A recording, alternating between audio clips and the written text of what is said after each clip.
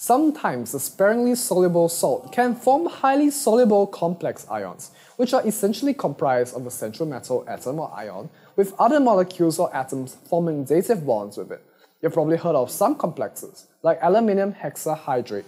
The formation of complexes in a solution can make a sparingly soluble salt much more soluble than it would be in solution.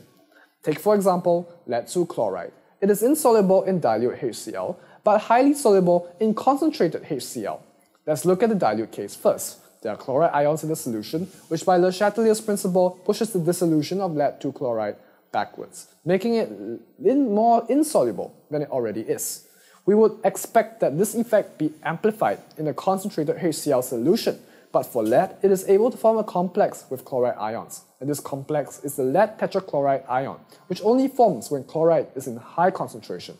And this complex is soluble, and because of the formation of this complex, Pb2 plus and Cl minus are removed from the solution, and the original dissolution reaction, which still occurs, now has its equilibrium position shifted to the right.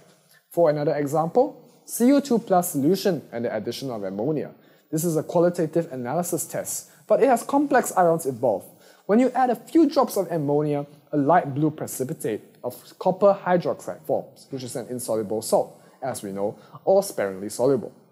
In addition, the addition of excess ammonia, however, causes the solution to turn blue. This is due to the formation of the tetraamino complex, which tetraamino copper complex, which is deep blue and soluble. The equilibrium position of the original dissolution reaction also shifts to the right as copper and ammonia are being removed from the solution to form complexes.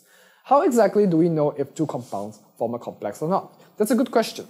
Generally, apart from a few standard cases like this one, where you know beforehand that something is a complex, in most questions they will tell you if something is a complex or not. So don't worry too much, but know how to explain how the formation of complexes affects solubility.